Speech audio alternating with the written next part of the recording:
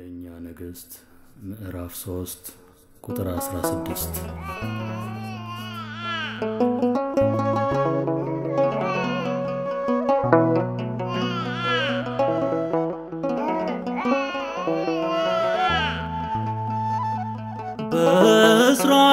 በእስራኤል እንዲሆን በሰለሞን መንግስት በሁለት ሴቶች መሃል በአንድ ሕፃን ልጅ ምክንያት የሞተውን ትተው ባለው ይጣላሉ። ይቺም ሴት ያቺም ሴት የኔ ነው እያሉ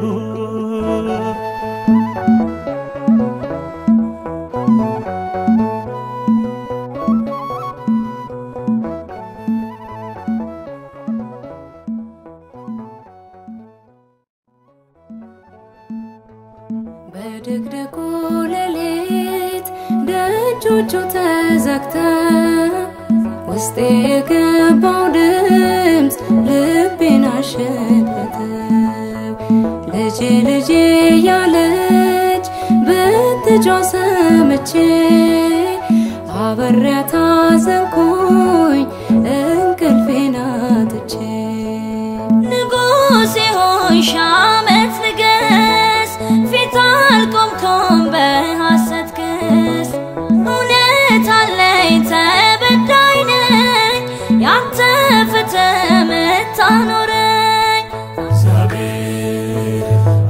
በዙፋኑ ንጉሥ አለ በዙፋኑ ይፈርዳል አይፈርድም አስረዱ ይፈርዳል አይፈርድም አስረዱ እግዚአብሔር አለ በዙፋኑ ንጉሥ አለ በዙፋኑ ይፈርዳል አይፈርድም ይፈርዳል አይፈርድም አስረዱ በእርግጥ ልጇ ሞቶ በሕይወት የለም ዛሬ። ይህንን አውቃለው ነበርኩኝ አብሬ። ምናልባት ሕፃን ከመሰላት የእርሷ ንጉሶች ስህተት ነው ውሸታም ናት እርሷ የኔ ልጅ ነው የኔ ልጅ ነው።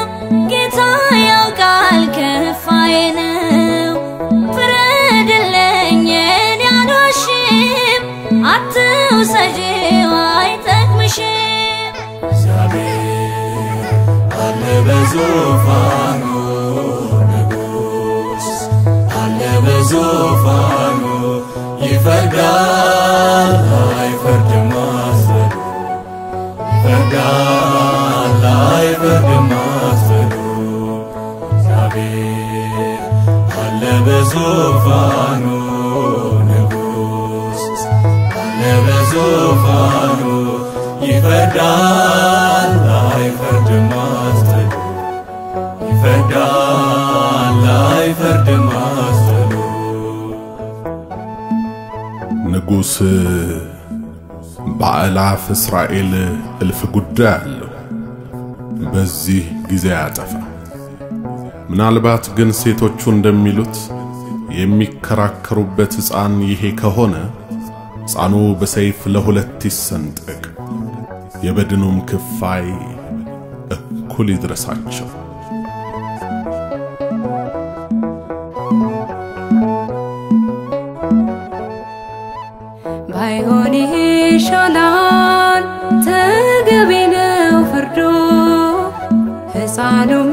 ሚሰንጠቅ ሁለት ይሁን አንዱ፣ ለእኔም ላንቺ ማይሆን ልቦና ያምርሯል። የማን ልጅ ተከብሮ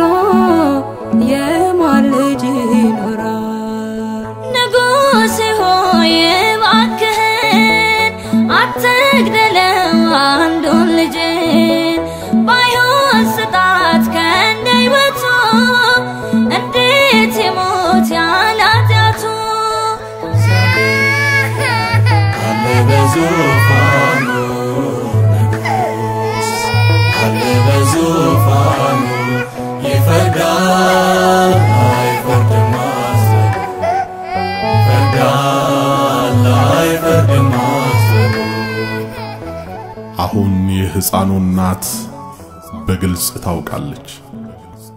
አንደኛዋ ሴት በሕፃኑ ላይ የተፈረደበት የሞት ፍርድ ሲያስደስታት አይተናል። ሁለተኛዋ ግን ይህን የሞት ፍርድ በጭራሽ የማትቀበለው ሆኖ አግኝተናታል።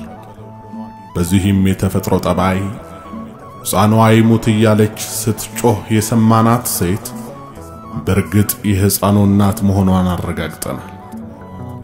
ስለዚህ አሁን ፍጠኑና ይህን የሚያምር ሕፃን ከዚህች አመፀኛ ሴት እጅ ላይ ነጥቃችሁ ለእውነተኛዋና ስጡልኝ። ስጡልኝ።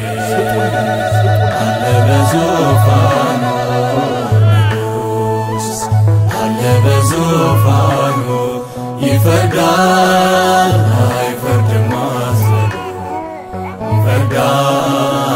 አይፈርድም